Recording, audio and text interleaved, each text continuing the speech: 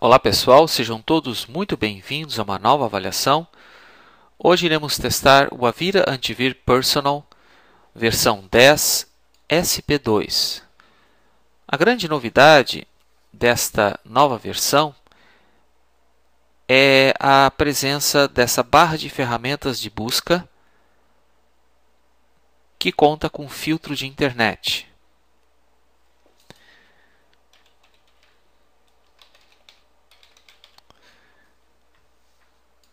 Esta busca é patrocinada pelo Ask.com.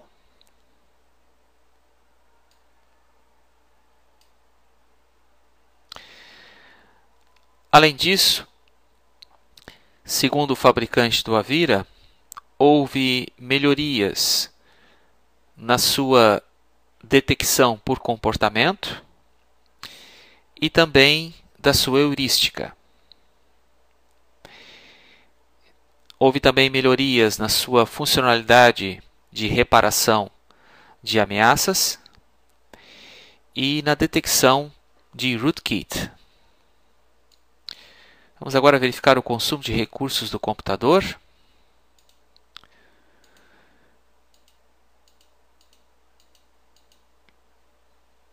Estes cinco serviços ativos aqui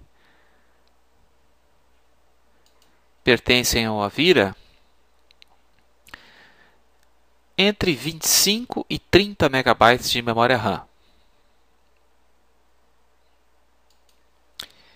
Tem aqui uma lista de links nocivos e vamos dar início ao teste.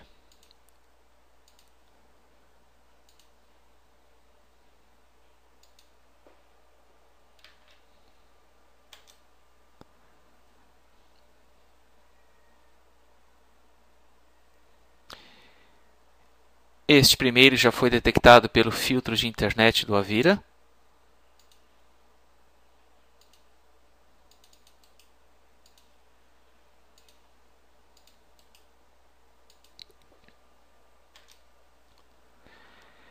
Este segundo também foi detectado.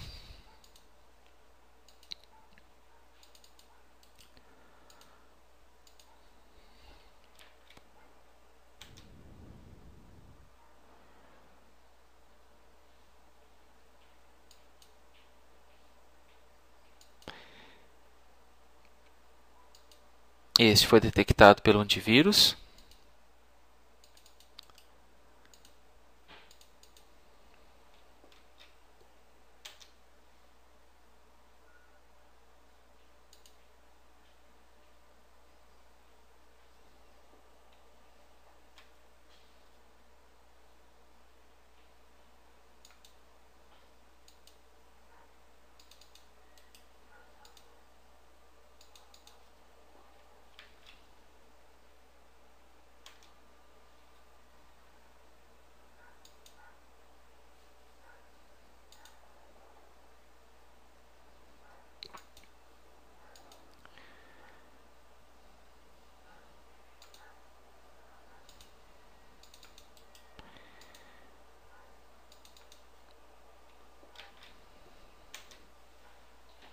Este foi detectado pelo filtro de internet.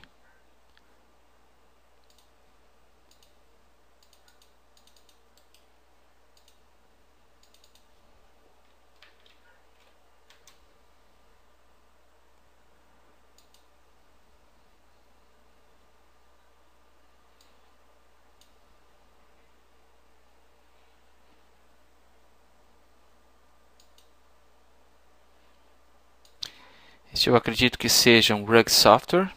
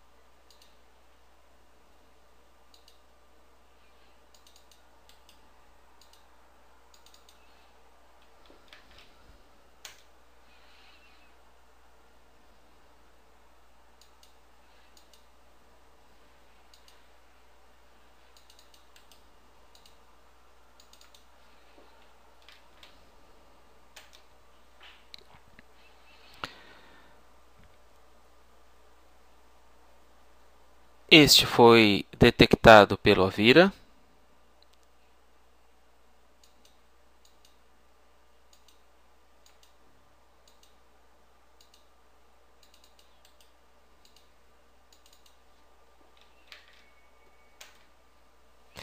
Este link está fora do ar.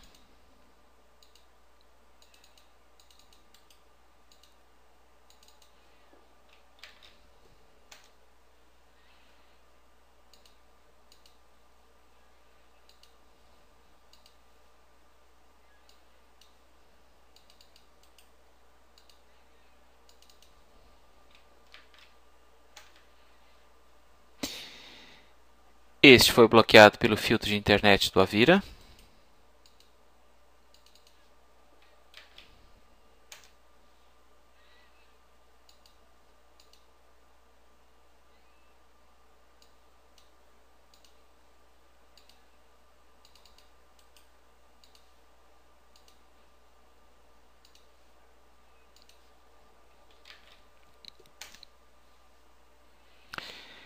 E esse também foi bloqueado.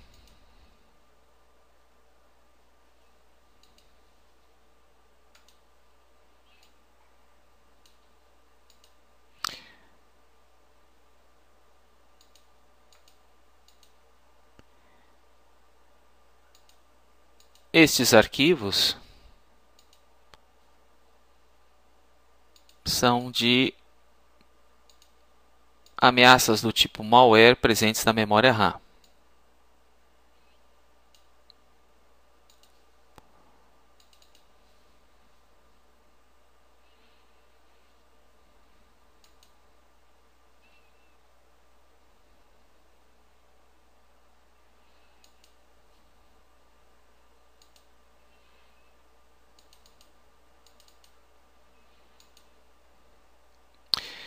Bem, vou fazer um escaneamento completo do computador agora com o Avira e retorno ao final com os resultados. Ao final do escaneamento, que demorou cerca de 20 minutos, nada foi encontrado.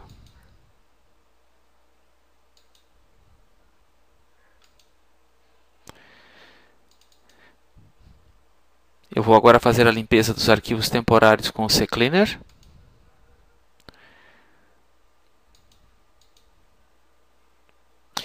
Eu vou reinicializar o computador e volto com os resultados do Malwarebytes. Ao final do escaneamento do Malwarebytes, foram encontrados 11 objetos infectados.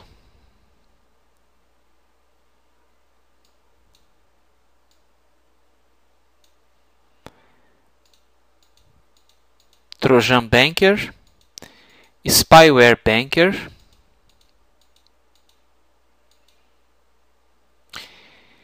e Security Center como chave de registro. Vou eliminar essas ameaças agora.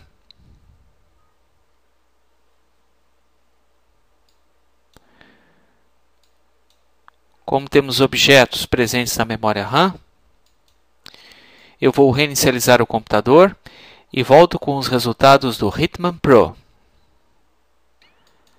Ao final do escaneamento do Hitman Pro, foram detectados dois objetos contaminados pelo mesmo malware, Trojan Dropper. Vou eliminar as ameaças agora. Ok.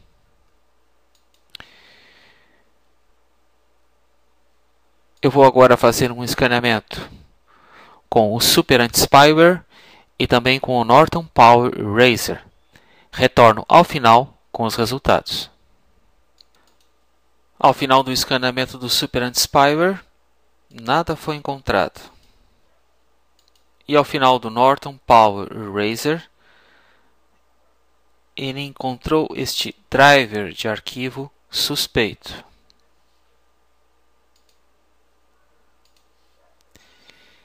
Finalmente vou fazer agora um escaneamento com o TDSS Killer e também com a ferramenta Gmer e já retorno com os resultados.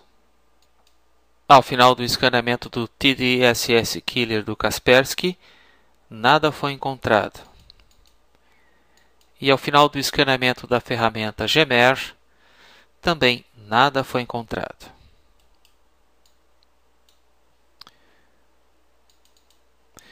Bem, minhas palavras finais sobre o Avira Antivir Personal versão 10 SP2.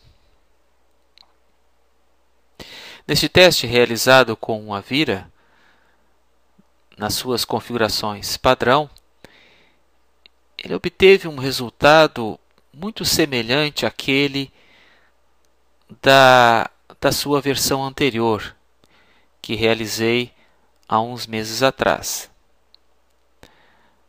Apesar do novo filtro de internet representar um importante item de segurança para o Avira, este antivírus não detectou a presença de muitas ameaças nesse teste. Precisa, na minha opinião, melhorar ainda muito a sua heurística para detectar mais facilmente aquelas ameaças mais recentes da internet. Bem, era isso por hoje. Deixe os seus comentários, sugestões, opiniões e visitem meu blog seumicroseguro.com. O meu canal no YouTube e o meu Twitter é VictorH2007. Muito obrigado pela assistência desse vídeo e até a próxima.